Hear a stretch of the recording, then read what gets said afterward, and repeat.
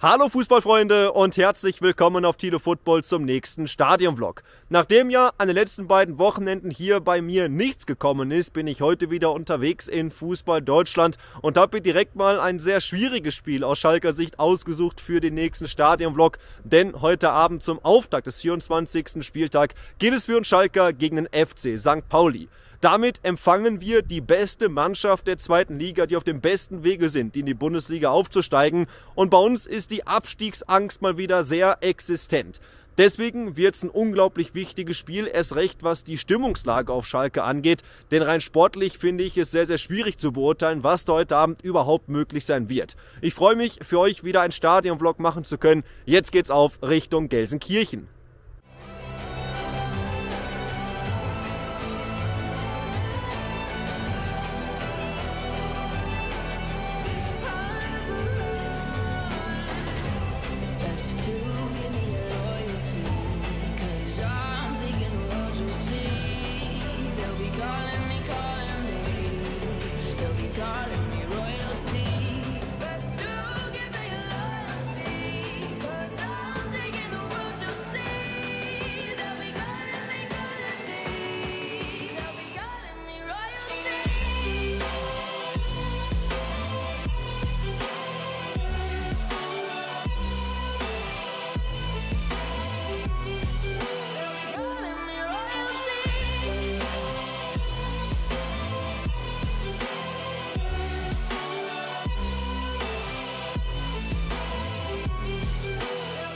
Angekommen auf Schalke um 16 Uhr, also gute zweieinhalb Stunden vor Anpfiff sind wir schon da. Heute gibt es ja einen Streik ausgerufen von Verdi, deswegen fahren keine Busse, keine Straßenbahn. Deswegen gibt es heute auf Schalke auch ein paar Probleme mit den Parkplätzen. Deswegen wurde geraten, früh anzureisen. Wir sind früh da und können bereits jetzt ins Stadion, denn das hat bereits um halb vier geöffnet, also drei Stunden vor Anpfiff. Ganz entspannt somit hier für uns. Verkehrschaos ist aber auf jeden Fall vorprogrammiert.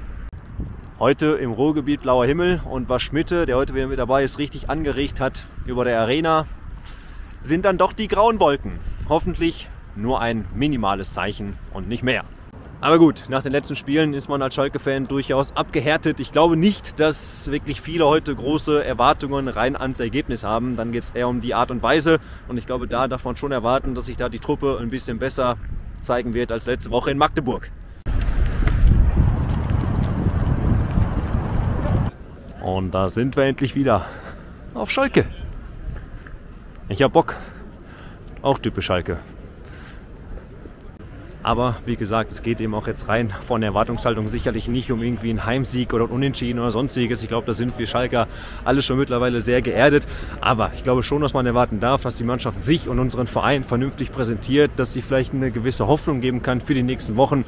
Nicht mehr, nicht weniger, aber ich glaube, das darf man dann doch schon verlangen. Schon gut was los hier am Auswärtseingang. Einige braun-weiße von St. Pauli zu sehen.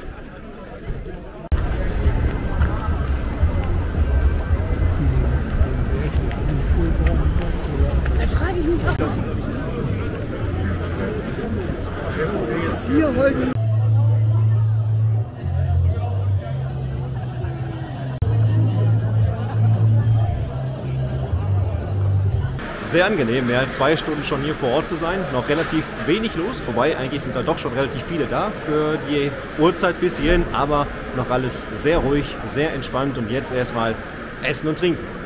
Endlich wieder eine schöne Stadion-Bratwurst auf Schalke. Zwei Wochen nicht gehabt, das ist schon eine lange Zeit. Geil. Bierchen natürlich auch am Start. Ah, kann man nehmen bei dem Wetter die Arena nochmal umso schöner. Schick. Portion Pommes auf Schalke, immer gut. Langsam wird die Freude aufs Spiel auf jeden Fall größer, trotz der schwierigen Ausgangssituation. Die letzten beiden Male war ich ja nicht im Stadion, das war echt ungewohnt für mich, aber am Ende gibt es dann auch doch mal wichtigere Themen als den Fußball. So viel also nochmal kurz und knapp dazu und jetzt freue ich mich auf das Spiel gegen St. Pauli. Hinspiel lief ja 3 zu 1 für St. Pauli, da war ich auch vor Ort an der Reeperbahn. Das war ja das letzte Spiel von Thomas Reis. Im Pokal haben wir knapp 1 zu 2 verloren. Das letzte Heimspiel gegen St. Pauli war ja unser Aufstiegsspiel mit dem 3 zu 2. Also immer wieder spektakuläre Spiele mit dabei. Mal gucken, wie es heute laufen wird. Man darf minimal von der Mannschaft erwarten, dass sie zumindest alles gibt und sie heute nicht blamiert. Alles Weitere müssen wir mal sehen. Ich glaube nicht, dass wir heute viel holen werden. Wenn St. Pauli durchzieht, sind sie deutlich, deutlich stärker, auch spielerisch als Magdeburg. Und dann wird es ähnlich hoch ausfallen. Deswegen aktuell mein Gefühl 0 zu 3. Das wird heute schon sehr, sehr schwer. Und jetzt geht's rein ins Stadion. Und da sind wir wieder. Gut eine Stunde, 20 Minuten vor Anpfiff. Endlich wieder im Wohnzimmer. Spannend wird es heute auch, wer bei uns in der Startelf stehen wird. Denn Baumgartel ist nicht im Kader. Schallenberg wird von in der Innenverteidigung spielen. Also Karel Gerrard würfelt ordentlich durch. Das wird eine überraschende Startelf sein. Vielleicht so eine Art letzte Patrone, denn es wurde ja spekuliert, dass es auch heute für Karel Gerrard ein sehr wichtiges Spiel wird bezüglich seiner Zukunft. Mal gucken, was die Experimente heute bringen werden und wie tatsächlich dann gleich unsere Startelf aussehen wird. Denn gerade läuft noch das Felddienst-Fanspiel hier auf dem Rasen. Und in guten 10 Minuten wissen wir, wie die Startelf aussieht. Dach heute übrigens auf. Sehr schön hier. Ah. St. Pauli meldet sich so langsam an. Heute, wie angerissen, auch Schmidt immer wieder mit dabei und der darf natürlich auch mal wieder seinen wunderbaren Tipp abgeben. Also, bitteschön. Stabiles 1-1 Schalke heute. 1-1. Ja. Oh, das wäre ja was. Stunde vor Anpfiff und jetzt ist die Startelf auch da mit einigen Änderungen. In der Offensive haben wir Tirode, Lasem, Kabadai und Karaman vorne. Seguin dann als Mittelfeldspieler und sollte Schallenberg Innenverteidiger spielen, haben wir neben ihm Mörkin und Kalasch, Ovejan und Soppi als Schienenspieler. Vielleicht ist es aber auch eine Viererkette. Wenn nicht, dann wäre es auf jeden Fall mit Dreierkette durchaus offensiv mit dem dann äh, Kabadai, Karaman, Terodde und Lassem vorne. Ja, Karel Gerrards probiert Mal gucken, ob es was bringt. Erste Reaktion heute auf die Keeper.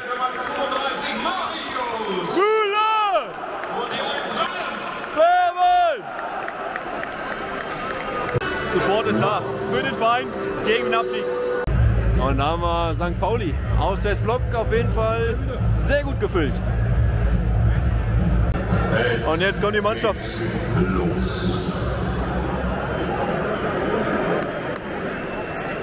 Ah. Aufstehen. Attacke!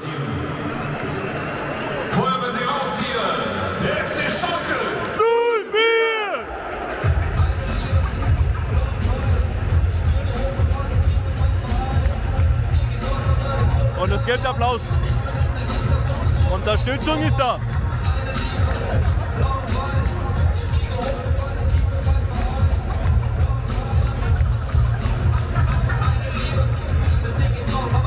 Also trotz der letzten Woche und trotz der aktuellen Ergebnisse ist die Stimmung, da ist der Support da. Und dann gucken wir mal, was es gleich so geben wird. Ganz schwer einzuschätzen. Aber was logischerweise auch wieder typisch Schalke ist, halbe Stunde vor Anpfiff, man hat einfach wieder unglaublich Bock auf die Stimmung, auf die Atmosphäre, aufs Spiel.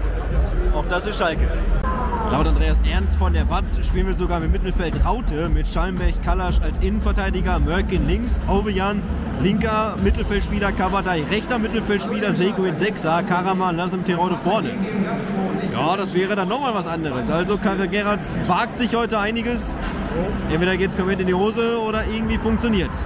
Er sagt, es ist äh, die größte Herausforderung im Moment, die wir aktuell vorstellen. Dagegen, wir haben natürlich auch schriftlich auf dem Würfel die Bilanz Schalke gegen Pauli. Wir wollen euch kämpfen sehen, schon vor dem Anschluss hier klar.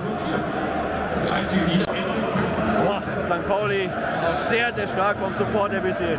Wow. 23 treu. Eins und aus. Zeigt uns mit euren Handys, Feuerzeugen,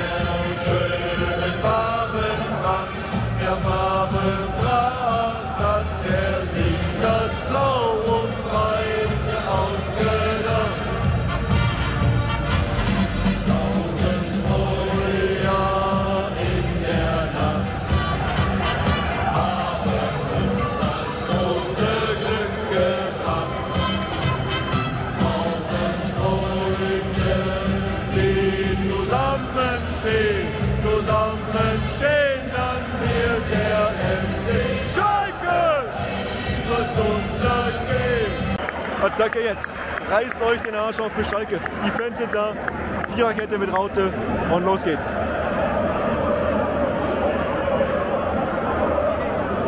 Ich hab Bock, trotz allem. Attacke! Attacke! Oh, Ergebnis würde man nicht.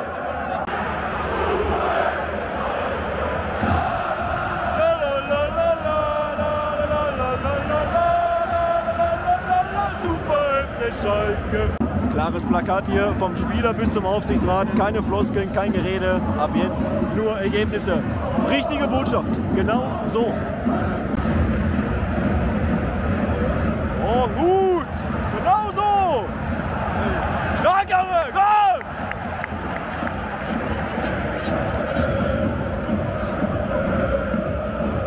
Jawohl.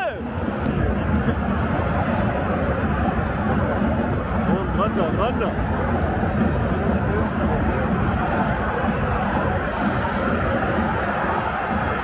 Oh! 10 Minuten rum, erste Top-Chance für St. Pauli ging bis und einfach. Stimmung unglaublich stark. St. Pauli muss wechseln, Erik Smith, unglaublich starker Innenverteidiger raus, Svigala rein. Wenn der spielt, spielt er gut. Mal gucken, wie er es heute macht.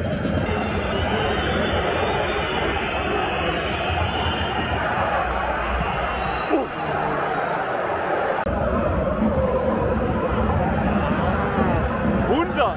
Gut!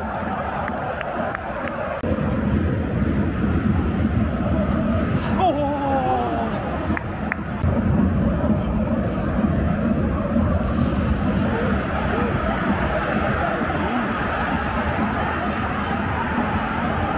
Ah! Weiter, komm!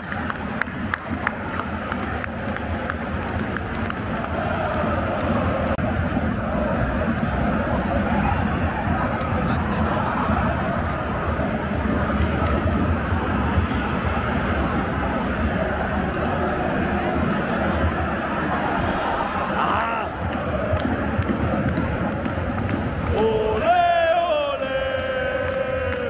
Ole, ole, ole! FC Schalke 04! FC Schalke 04! FC Schalke 04!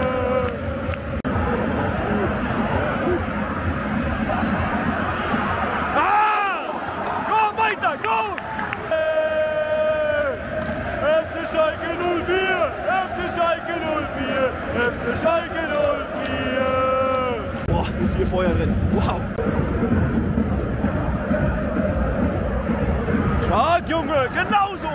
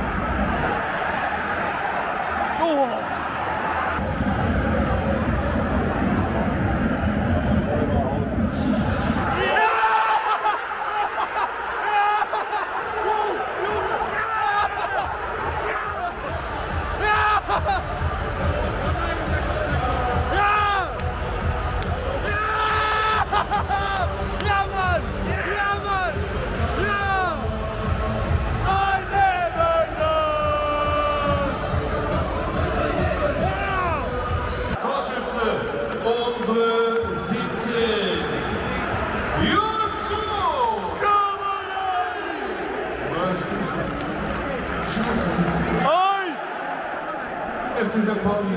Null! Bitte! Auf! Ja!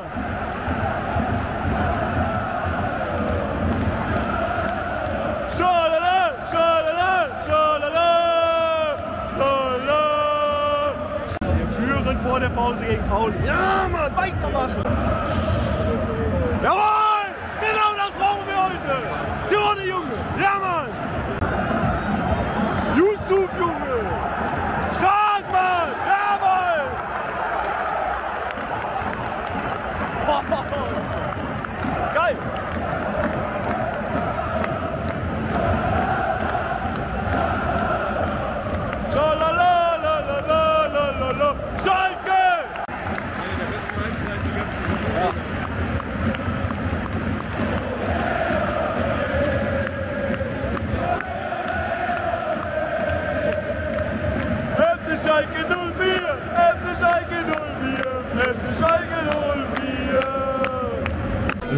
Schalke und wir führen mit 1 zu 0. Ich glaube, das hätte keiner im Stadion gedacht, aber von Anfang an war eine so krasse Stimmung in der Arena.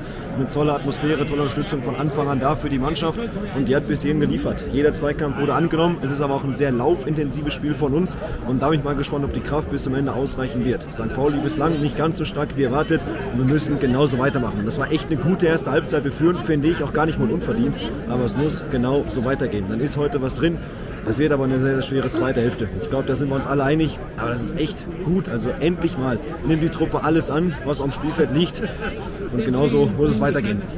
Jetzt geht es wieder rein ins Stadion. Aber erstmal noch einen schönen Käsebrezel oder eine Käseschinkenstange. Mal gucken, was so gibt. Und die sieht echt gut aus. Schönes Ding. Weiter geht's. Zweite für läuft mindestens genauso weitermachen. Wenn nicht sogar noch mehr.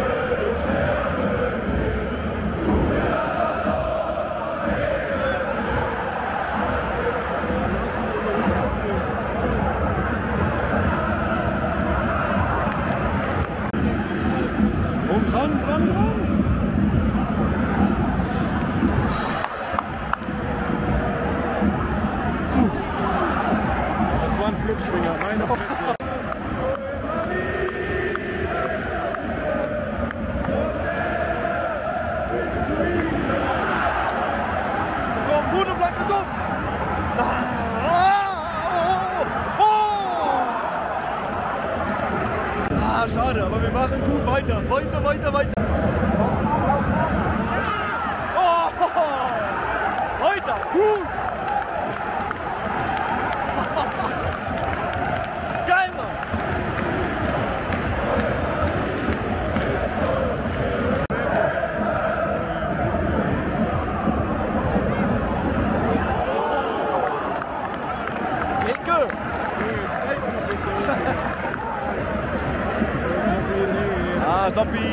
Wohl rausgehen. Gelb, vorbelastet, Brunner steht schon bereit.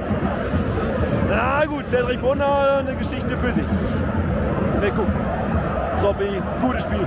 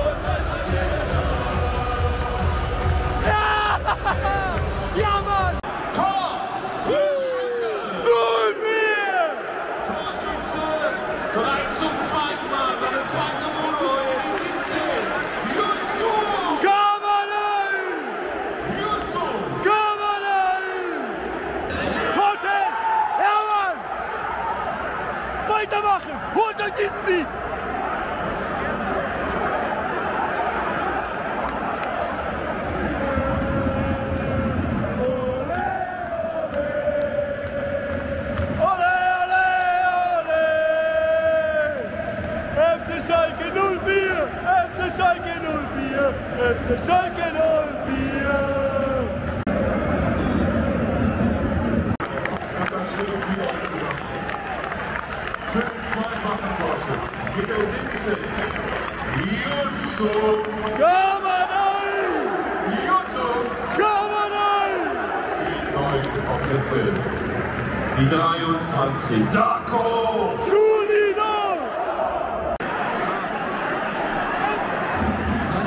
Schallenberg! Und ein schwierige Tunnel.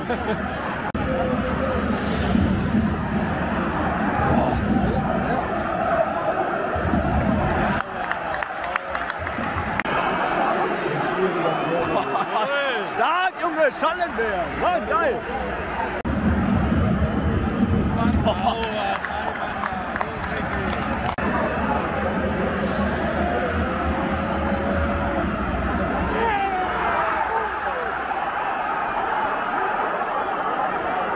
Siebenundachtzigster Anschlusstreffer. Jetzt wird's nochmal eine Zitterpartie. Schon die 89. Junge. Boah, komm! Ole, ole! Ole, ole, ole! FC Schalke 04! FC Schalke 04! FC Schalke 04! Sieben Minuten Nachspielzeit. Oh. Stark!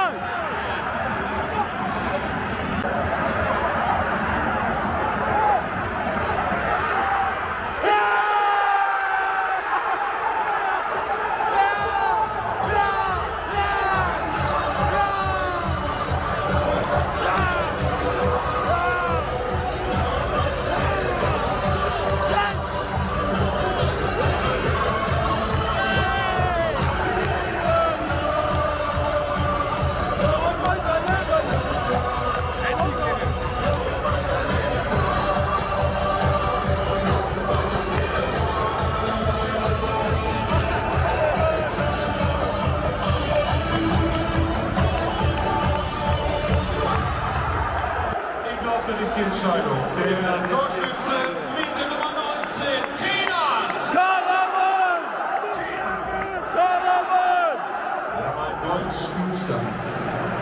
Schalke, Drei!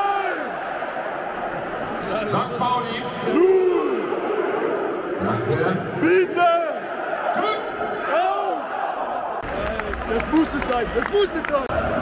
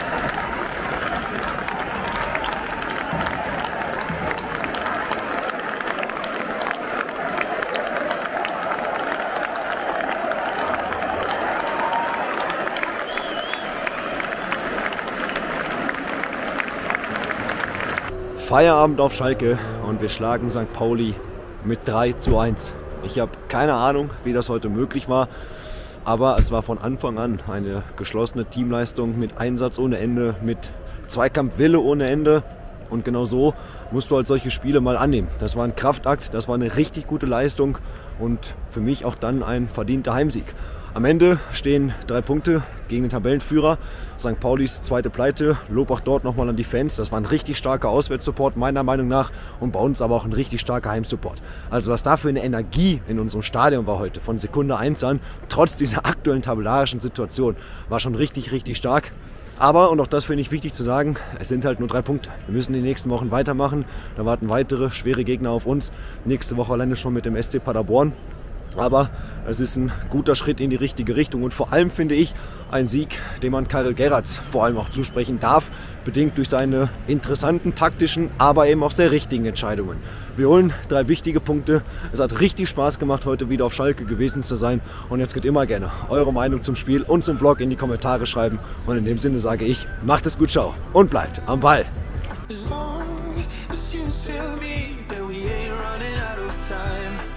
Thinking about tonight. What a time to be alive.